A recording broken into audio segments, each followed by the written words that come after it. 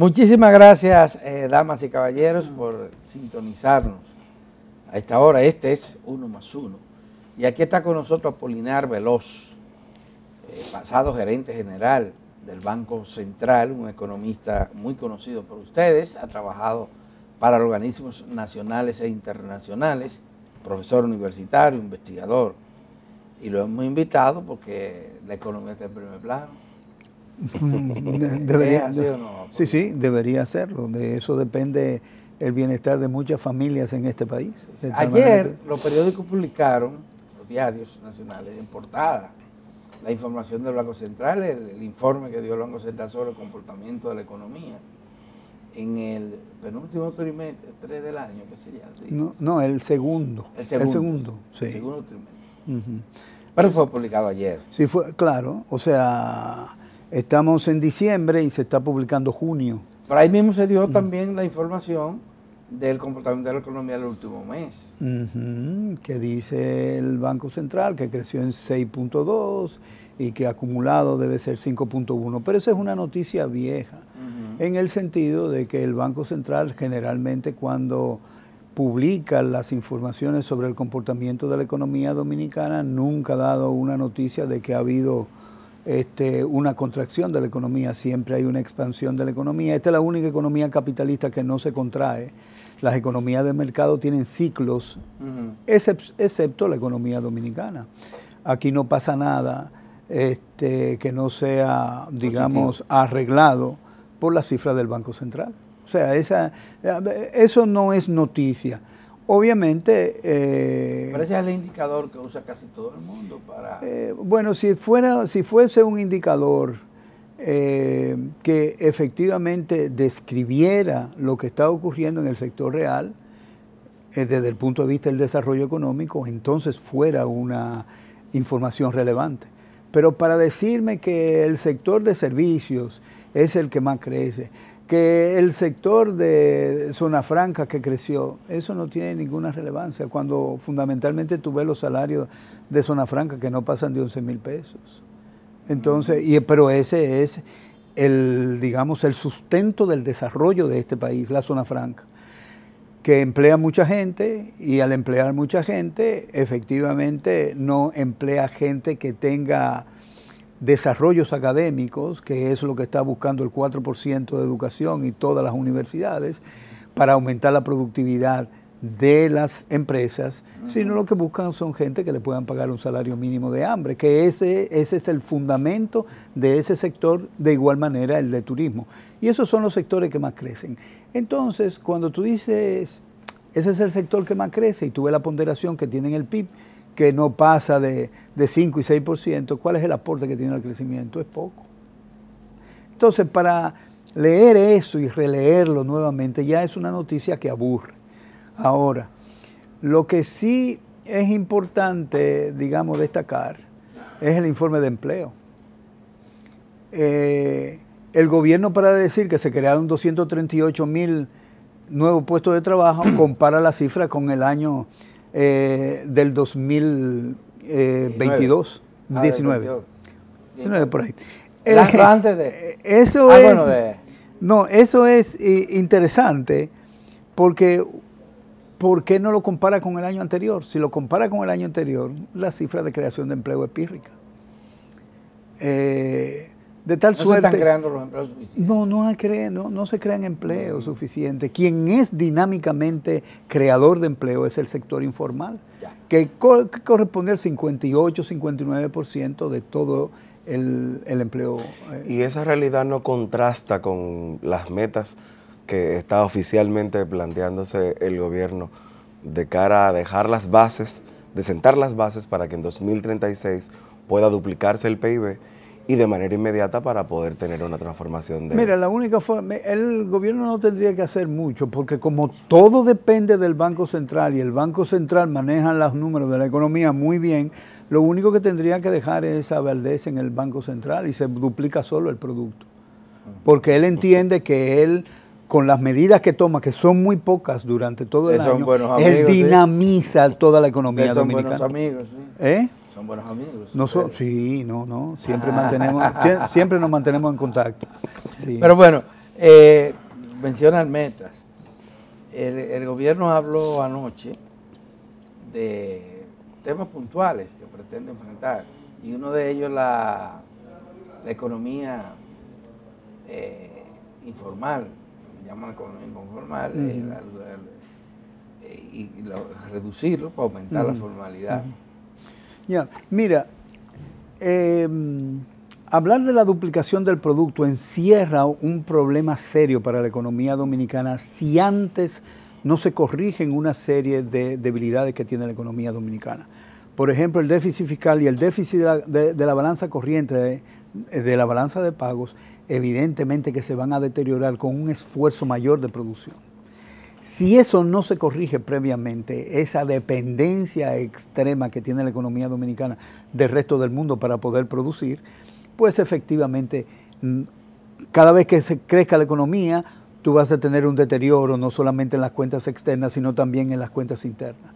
No solamente por el problema que encierra el conjunto de exenciones fiscales y de evasión fiscal que hay en el país, que se van a ser mayores. Y cuando Pero el- ¿cómo? ¿Cómo? Porque eso... eh, no es claro, o sea, ese, mientras más tú ganas, evidentemente que tú no vas a pagar todos los impuestos que deberías pagar al gobierno, sino que sencillamente el sistema de evasión fiscal continuará y el sistema de evasión de otros impuestos también va a continuar. Entonces, tú creces, pero en esa medida que creces, los impuestos del gobierno no crecen, pero el gasto público está creciendo porque el- este es un gobierno, como los anteriores, populista, en el sentido de que cuando cree que la presión social crece, entonces le da un caramelo a la gente a través de la Pero no entiendo esto de que si la economía crece, no crecen los ingresos. Oh, déjame.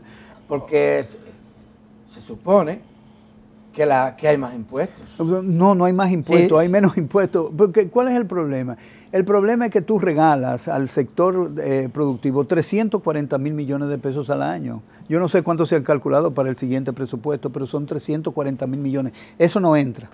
Además de que no entran aproximadamente por impuestos sobre la renta más de 300 mil millones. Ahí tú tienes 600 mil millones de pesos que no entran al gobierno. En la medida que crece, esos negocios van a seguir creciendo, pero el mismo comportamiento fiscal lo van a seguir teniendo. Es decir, no voy a pagar impuestos sobre la renta y tampoco voy a pagar el ITEVI. El ITEVI no es que nosotros no lo paguemos, porque hay muchos economistas, incluyendo economistas con muy buena formación, que dicen que eh, es el- son los consumidores que no pagan los impuestos. Yo quisiera saber quién va a un establecimiento de este país comercial a comprar y que no pague el impuesto, el ITEVIS.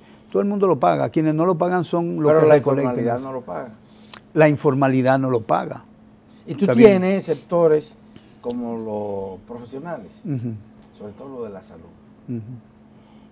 También. que no pagan ni Sí, ni que no, la sí. renta, ni nada. de- y el gobierno nunca ha querido Sí, no. regular eso. Ha hecho intentos y, y obviamente como todo el mundo que está Ha en el gobierno amago. piensa en las elecciones. Ha hecho amago. Sí, ha hecho amago. Todo el mundo que está en el gobierno piensa en ¿por las qué? elecciones. ¿Por qué si a cualquier empleado que gana salario mínimo, es más, hay gente que gana No, el salario mínimo pr- prácticamente está exento. no, exento de, sí, De- pero sí. tiene que pagar, ti- tiene que, bueno, el salario mínimo está exento, Ujú. del pago del impuesto sobre la renta. Pero, Pero, el no de los salario otros mínimo impuestos. te recuentan el seguro, te recuentan una serie. Ah, ah, sí, pero espérate, que eso es para equilibrar la banca. Y es uno de los grandes problemas que tiene el Banco Central. El Banco Central como regulador, lo que tiene como resultado en la banca es sencillamente una coalición, no, vamos a decir, un oligopolio. La banca dominicana recibe más depósitos de lo que presta. Desde el año del, del 80 hasta hoy, Mm. no presta todos los, todos Lo los depósitos. recibe. Y entonces, ¿qué hace con ese dinero? Porque ese dinero le representa un costo para el banco, de tal manera que debe agilizar los préstamos para recibir ingresos. No lo hace. ¿Qué ha hecho el Banco Central? El Banco Central lo que le ha dicho, no, hombre, tranquilo, que yo voy a emitir certificado para que tú hagas una monedita por ahí y no tengas que preocuparte de esos ingresos. Emite a 10 y los bancos comerciales te lo dan a ti a 7, los certificados, y ellos se ganan 3. De un billón, calcula, son 30 mil millones de pesos al año. Sí, eh, eh, Entonces él lo que ha hecho es sencillamente, en lugar de regular, lo que ha hecho es crear un monstruo en el sentido de que tú vas a, un, a servicio bancario y los servicios bancarios de este país son caros. Son caros. Pero quiero eh, puntualizar un poquito porque para no dejar la confusión en la... Cuando yo hablo de que los pobres sí pagan, es que el pobre se monta en un motoconcho. Y ese motoconcho funciona con gasolina. Y la gasolina está altamente penalizada, los combustibles, para el ciudadano. Ese pobre, el más pobre, compra ropa. Por eso es que... Compra eh, y si paga. Entonces tú tienes sectores mucho más eh, holgados que no pagan. Que no pagan o pagan muy poco. Eso no es justo. No, pero efectivamente, ese, ese era el, elemento central de la reforma fiscal que no observó el gobierno. O sea, el gobierno debió haber observado justamente esa discrepancia social que hay en la República Dominicana. ¿Sobre quién, sobre quién recaen los impuestos? Recaen sobre los consumidores, fundamentalmente. Y de ahí se, se están, digamos, este, alimentando prácticamente el 40%, el, es el 60% de los ingresos que recibe el gobierno. Debería recibir 40% más, pero el otro 40% se evade. Ah, el gobierno presentó un proyecto de reforma, que ya sabemos su historia, ¿verdad? Pero un elemento que, que es interesante reflexionar sobre él es el hecho de que pobres y ricos, representantes de comunidades de pobres, de grupos, cemento y ricos hicieron causa común de rechazo a, ese proyecto. Es que era obligatorio porque lo que significaba esa modernización fiscal, entre comillas, era sencillamente extender todos los beneficios que tienen, lo que se benefician de ese sistema de impuestos. Era extenderlo y entonces poner la carga, adicional carga a la gente que sí paga impuestos, que no tiene forma de ¿Por qué esos sectores estaban opuestos? O porque te iban a quitar si se va de el, 40% de, del ITEVIS y el 60% del impuesto sobre la renta. ¿A quiénes beneficia eso? A ti te quitan, cuando te pagan tu salario, a ti te quitan el impuesto. Entonces, tú no puedes evadir. Quienes evaden son los que tienen la posibilidad de presentar declaraciones juradas del impuesto sobre la renta y tienen beneficios. Entonces esa gente son las que se están beneficiando de esta estructura fiscal. Y evidentemente que el gobierno no podía complacer a la gente de quitar las exenciones fiscales y reducir la evasión fiscal porque eso le ponía un cuestionamiento de la gente que financia sus elecciones. Entonces esto nos lleva a preguntarnos a Polinar, porque evidentemente todos los sectores hablamos y abogamos por el desarrollo y por que siga el crecimiento económico. Pero, por ejemplo, el desarrollo es imposible hacerlo si no pagamos impuestos suficientes, si el Estado no tiene capacidad de recaudar lo que necesita para hacer las inversiones que el país necesitaría en los rubros eh, que tiene descompensados. El problema es que tampoco hace las inversiones donde las tiene que hacer. Aquí estamos procurando que el capital humano sea mejor para apoyar esa visión de desarrollo. Sin embargo, la inversión en educación es un desastre y la inversión en, en salud es otro. Son eh, ministerios para la compra. Son ministerios para comprar y sencillamente esas compras dejan beneficios. Entonces, así no se conduce eh, el, desarrollo económico. Cuando me estén hablando de desarrollo económico y estén hablando, y tú lo mencionaste justamente, del hecho de que haya un crecimiento del ingreso por incremento de productividad, entonces estaremos hablando de desarrollo económico y eso significa tener eh, un capital humano que eh, sea de mejor calidad, una educación que sea de mejor calidad, una salud que sea de mejor calidad, eh, seguridad ciudadana que sea mejor, eh, calles en las que tú puedas circular con mayor, con menores costos. Eso sería, digamos, los ingredientes que debe tener una, una meta de perseguir desarrollo económico. Pero aquí no se trata de eso. Aquí se trata, el Ministerio de Planificación ha sido silente completamente desde el punto de vista de, tener un planteamiento de desarrollo económico. ¿Cuáles son los ingredientes fundamentales para esta economía del desarrollo económico? No es el crecimiento, porque hemos crecido durante muchísimo tiempo y los pobres siguen en crecimiento también. Entonces la distribución del ingreso justamente no ha estado a la altura de esa mejoría de la calidad de vida de la gente.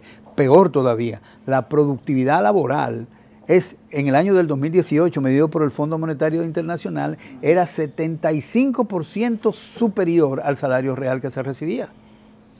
Entonces, desde ese punto de vista, evidentemente que no se está pensando en desarrollo, sino lo que se está pensando son políticas públicas que, digamos, sirvan a la reelección. Pero el, gobierno, y ayer lo reiteraron, insiste en que la sociedad camina ¿Hacia dónde? Hacia una sociedad de clase media.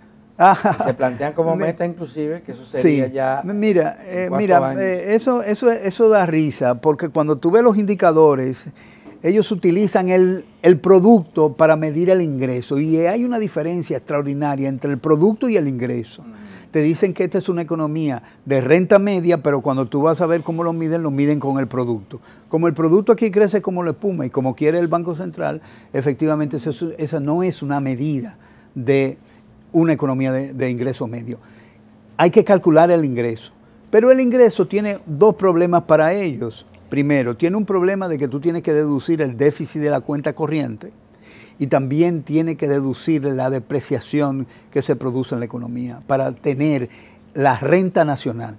Entonces, cuando tú tengas la renta nacional, tú la divides y eso, digamos, eh, dejando de lado otras críticas que se le pueden hacer a ese indicador, tú divides esa renta por la población y te da una renta media.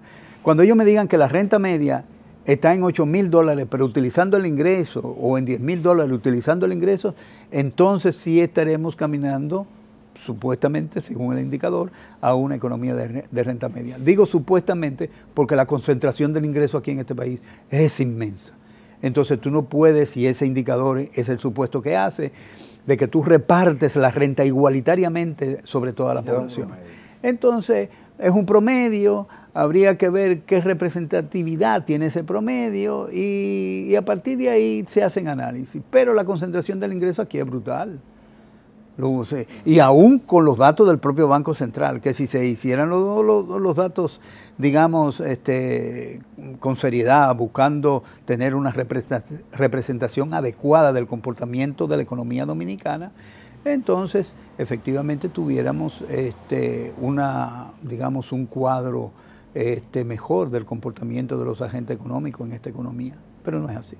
No hay ninguna luz en el gobierno. En, el... La política del gobierno, la política económica del gobierno.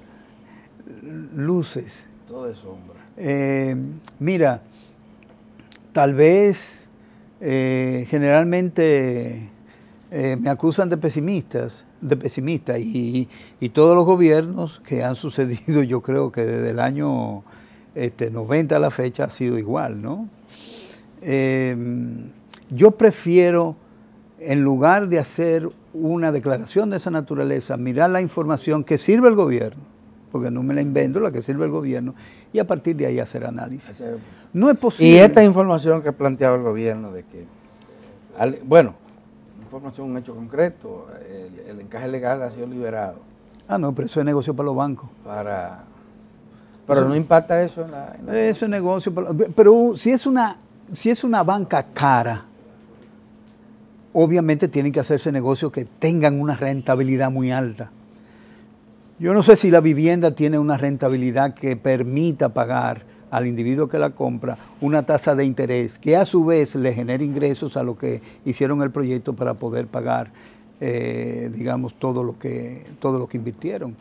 Eh, yo no estoy, es lo mismo que ocurrió con la pandemia.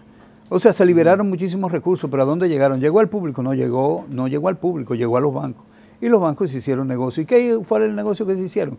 Que si ustedes tenían préstamos vencidos, ellos te los reestructuraban y sencillamente ahí resolvieron el problema, que eso fue lo que hicieron. No, no, no ven entonces ningún impacto. mira, eh, a la República Dominicana, como a muchos otros países de economía de mercado, que han tratado de poner en práctica toda la, toda la política económica neoliberal, le esperan sorpresas, ¿no? hay algunas sorpresas que se han, digamos, dilatado en el tiempo, tal es el caso de Argentina, que a pesar de todas las medidas este, antisociales que ha tomado mi ley, todavía esa gran central de trabajadores argentinos está en calma. Y ayer Atilio Borón escribía un artículo que decía que efectivamente no entiende cuál ha sido la reacción de la gente, porque en otras ocasiones, con menos de ahí, la gente estaba en la calle. Y él dice que la gente está ahí, esperando una ocasión. ¿Cuál será? Él no sabe. Lo mismo está ocurriendo aquí. O sea, el deterioro del nivel de vida de los dominicanos es justamente el resultado de todas las políticas que, han puesto en marcha muchos gobiernos. Y lo que se ha tratado de resolver para que la plebe, ¿cómo se llama? La plebe no salga a la calle es sencillamente darle tarjeta, eh, darle eh, todos, los, todos los incentivos que son, que verdaderamente es, eso es. Pero han tenido éxito. Irritante. ¿En qué sentido? En que no ha habido en gente en la calle protestando masivamente contra eso. Eh, no, y no solamente eso, sino que se lo ha permitido decir que han reducido la pobreza. Ahora bien, han tenido éxito momentáneo, porque la situación de la gente en, en, los barrios no es de, de apaga y vámonos porque yo tengo la tarjeta solidaridad. No. Lo que ocurre es que eh, ya no estamos en los años 70 donde la efervescencia política era un dato importante de la realidad. Ahora ya no es así. ¿Y el presupuesto de 2025? Esa propuesta presentada, ¿cómo la valora? Eh, mira, el presupuesto carece de un elemento fundamental. O sea, el gobierno tiene un crecimiento de la deuda que es nadie puede negar, aun cuando se calcula mal, nadie puede negar que tiene una tendencia ascendente importante. Y esa tendencia se acentúa para el 2025, de tal manera que el gobierno no tiene propósitos de política fiscal para resolver ese problema, que el problema fiscal no es solamente de ingresos, es también de gasto. ¿no? Y ahora tiene el problema de que el déficit está creciendo porque la reforma que estaba buscando no se aprobó. Y para el año que viene, la, digamos, la cuestión fiscal va a ser, este, digamos, más seria. O sea, tienen necesidades, tienen paradas muchas obras, este, hay necesidad de gastar, porque ese es el negocio del sector privado que le está dando el gobierno, y hay necesidad de reiniciar eso. Entonces, ¿cómo lo vas a reiniciar? Necesariamente, yo estoy de acuerdo que tiene que haber una reforma fiscal, pero una reforma fiscal que sea distinta a esta que, que se propuso, que es una reforma fiscal totalmente neoliberal, en el sentido de que la carga se la pongo al consumidor y no a la gente que genera riquezas y que tiene eh, muchísimos millones de dólares en paraísos fiscales, sencillamente de beneficios hechos aquí en la República Dominicana. Entonces, eh, si esa es la idea del gobierno de, digamos, eh, tratar de hacer que la economía y la sociedad dominicanas prosperen, no creo que esté en el camino correcto. Bueno, se acabó el tiempo, lamentablemente. Bueno. Rápido. Gracias, Polinar. No, gracias a ustedes por, la invitación. Estar aquí con nosotros, compartir con nuestra audiencia ideas fundamentales en torno a un tema fundamental que es la economía. Vamos a hacer una pausa con el permiso de ustedes, damas y caballeros, y a regresar, Altagracia Paulino se adueñará del resto del programa.